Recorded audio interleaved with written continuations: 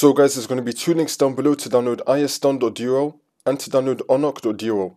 You want to download both these DLL files. So for the first one, isdone.dll, we're going to scroll down. You want to get the first one that comes up, click on download.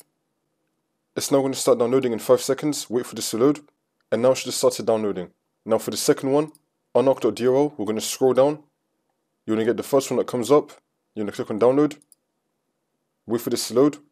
And we'll now have both of these downloaded. By the way, if the download did not start, then you're going to click on download right here for both of them. And now that we have them both downloaded, for the second step, you're going to head over to search and type in File Explorer. Click on it. And then once you're on this, on the left hand side, you're going to click on downloads. And then once we're here, we should be having both these zip files right here. So we're going to extract both of them. So for the first one, you just want to right click on it and then click on extract all. And you can untick this and then click on extract. Now for the second one, right click on it extract all, and then click on extract. And we're now going to have both these folders. You can just delete these ones right here. And now I'm just going to double click on this one till I find the DLL file. You just want to move this to your desktop. And now for the second one as well, go back to the download folder. Do it for the other one. Find the DLL file, move that to your desktop.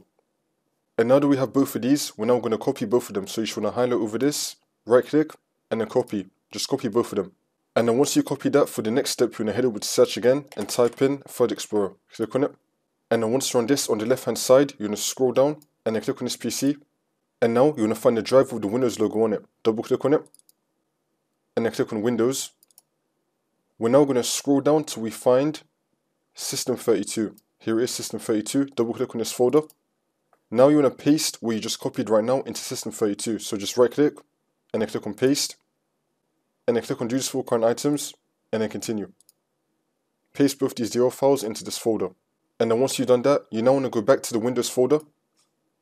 Now we're going to scroll down a bit more till we find SysWOW64. Double click on this and then do the same thing. Right click, paste, do this for current items and then continue. Which will now paste both these DLL files into these folders. And now for the next step, you're going to head over to the link which will be down below in the description. To download Microsoft Visual C++, we're going to scroll down. We have two downloads here, 64 and 86. To know which one you need, you're going to head over to search and type in system information. Click on it. And then once you're on this, next system type is going to be telling you, I'm on x64, so I'm going to be getting that download. You are also most likely going to be on x64 like me. However, if your one says x86 or x32, then you want to get the other one. In my case, it says x64, so I'm going to be getting this one, x64. Wait for this to load. And we're now going to click on the download.